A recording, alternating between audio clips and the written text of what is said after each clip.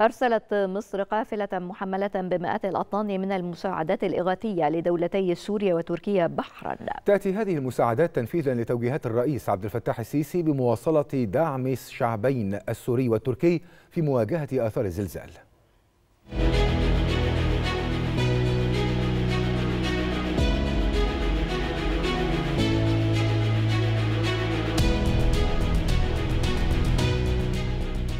استمرارا لدور مصر الفاعل تجاه الدول الشقيقة والصديقة وتنفيذا لتوجيهات السيد الرئيس عبد الفتاح السيسي رئيس الجمهورية القائد الأعلى للقوات المسلحة بإرسال قافلة من المساعدات في إطار الدعم والتضامن المصري مع أبناء شعبي سوريا وتركيا أعقاب الزلزال المدمر بكلتا الدولتين.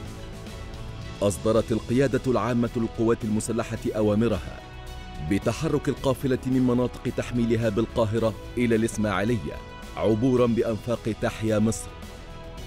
وكبر السلام. مرورا بالطريق الدولي الساحلي.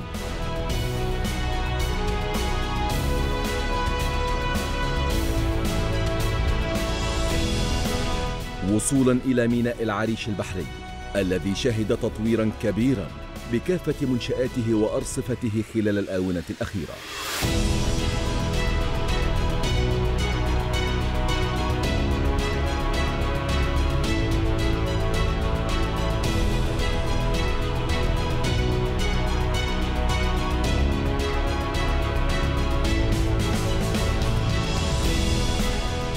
حيث غادرت سفينة إمداد مصرية من الميناء متجهة إلى دولتي سوريا وتركيا. محملة بمئات الأطنان من المساعدات الإغاثية. اشتملت كميات كبيرة من الخيام والبطاطين والمواد الغذائية والأدوية والمستلزمات الطبية المقدمة من وزارتي الدفاع والتضامن الاجتماعي والأزهر الشريف وجمعية الهلال الأحمر وصندوق تحيا مصر. للمساهمة في تخفيف الآثار الناجمة عن الزلزال المدمر بكلتا الدولتين. يأتي ذلك في إطار حرص القيادة المصرية على دعم علاقات التآخي بين الشعوب وبما يساعد الأشقاء على تجاوز الأزمات والمحن.